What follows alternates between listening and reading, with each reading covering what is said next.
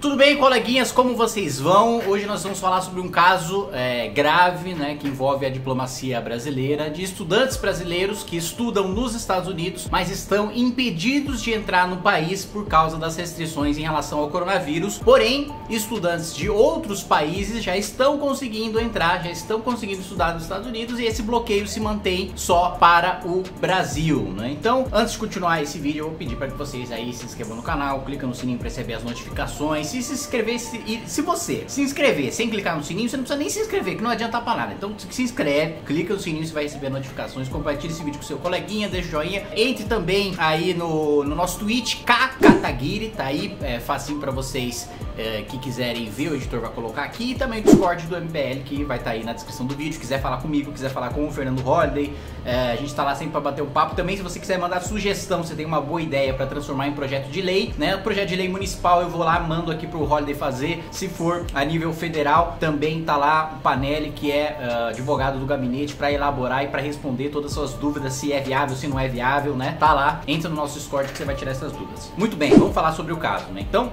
nós temos aí centenas e centenas de estudantes brasileiros, né, que formaram até é, um movimento, né, We the Foreigners, que significa, né, nós os estrangeiros, uh, ah, para pleitear, né, dos Estados Unidos um tratamento é, isonômico, né, um tratamento justo igual ao que tem sido dado aos estudantes de países da União Europeia. Os estudantes que, de universidades americanas que são provenientes né, de países da União Europeia estão conseguindo entrar nos Estados Unidos para estudar, né? E muitos deles já tiveram, as aulas já começaram, né? Para muitos desses alunos, inclusive dos brasileiros que ainda estão presos aqui no Brasil, é, e para outros alunos as aulas vão começar em no máximo uma ou duas semanas. Porém, ainda assim o Departamento de Estado americano não libera, né? E com a justificativa do coronavírus, porém, é, se a justificativa fosse essa, o tratamento tinha que ser igual para todos os países. O bloqueio tinha, o bloqueio aéreo tinha que ser para todos os países, o que não é o que está acontecendo, né? Eu entrei em contato com o Itamaraty. A resposta que eu tive do Ministério das Relações Exteriores aqui no Brasil é basicamente de que eles já entraram em contato com o Departamento de Estado americano, o Departamento de Estado americano já sabe dessa situação, porém, né, ainda se nega a, a dar essa igualdade de tratamento em relação à União Europeia, né? O que não faz sentido nenhum se os Estados Unidos real, realmente querem manter uma boa relação com a gente. Não faz sentido nenhum ter essa birra em deixar estudantes brasileiros, né? É só chegar nos Estados Unidos, média temperatura, testa e ponto, né? A gente não tá falando para mandar ninguém com coronavírus para os Estados Unidos, né? Você pode ter todas as condições é, é, e todas as medidas sanitárias sendo tomadas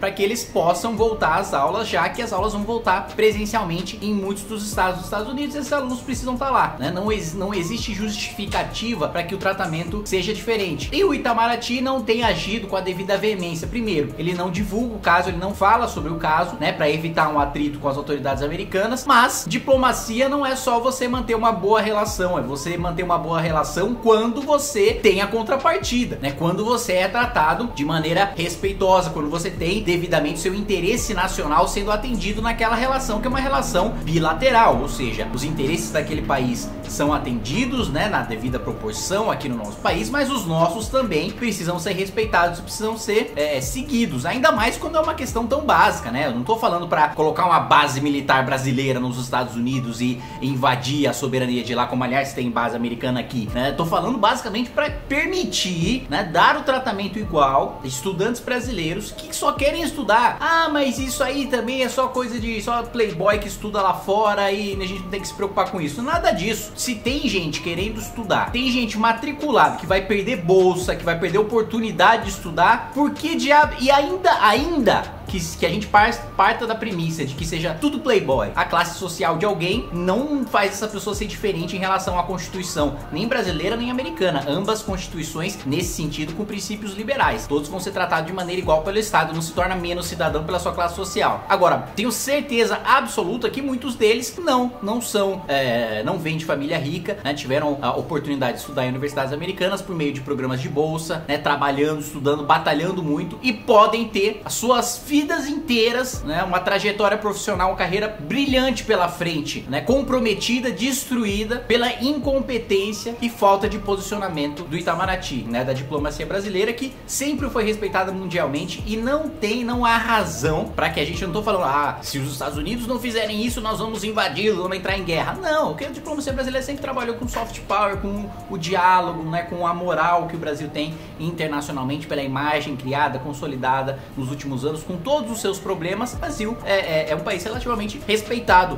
é, internacionalmente e pode fazer o uso disso para questões como essa, que é uma questão simples. Então, estou fazendo esse vídeo justamente para dar visibilidade a esse caso. Alguns veículos de imprensa já estão cobrindo, né, e o máximo que, que puderem cobrir melhor. Tô até ajudando aí os, os estudantes a fazer a ponte com alguns jornalistas e você também, né, se você conhecer alguém que também está tendo a mesma dificuldade, vamos unir esforços, vamos unir todas essas famílias, todos esses estudantes para que quanto mais a gente puder demandar do Estado brasileiro e do Estado americano, né, que medidas sejam tomadas para que esses alunos possam voltar a estudar, não percam as suas bolsas, não percam seus anos letivos em razão disso que a gente sabe que para quem tem bolsa perder é basicamente uma tragédia e para quem não tem bolsa pagar e não estudar, uma pagar uma fortuna para não ir, para não estudar, também é uma tragédia. Então, vamos ajudar porque é uma molecada boa, inteligente que tá indo lá para estudar e que tá perdendo essa oportunidade por falta de trabalho, de diálogo, né, de autoridades brasileiras e americanas.